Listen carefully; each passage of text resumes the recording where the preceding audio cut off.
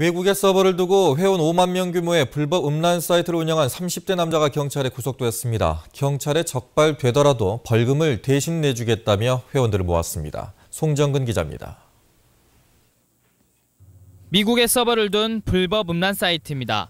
회원들이 올린 각종 음란물로 게시판이 가득 차 있습니다. 32살 양모 씨는 작년 10월부터 경찰 단속을 피하기 위해 서버를 미국에 두고 불법 음란 사이트를 개설했습니다. 음란물을 내려받는 회원들에게는 경찰 단속에 적발되더라도 최대 200만 원까지 벌금을 지원해 주겠다고 약속했습니다. 음란물을 공유하는 회원들의 접속 IP를 수시로 초기화시켜 경찰의 추적을 피하기도 했습니다. 제가 군대를 좀 늦게 가서 예, 처자식이 있었는데 생계 때문에 이렇게 모집한 회원만 5만여 명. 양 씨는 현금을 받고 포인트를 충전해주는 방법으로 1억 2천만 원어치의 부당이득을 취한 혐의를 받고 있습니다.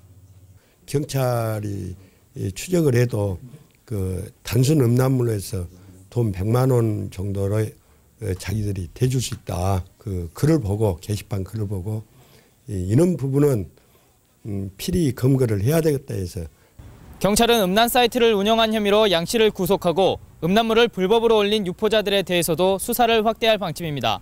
MBC 뉴스 송정근입니다.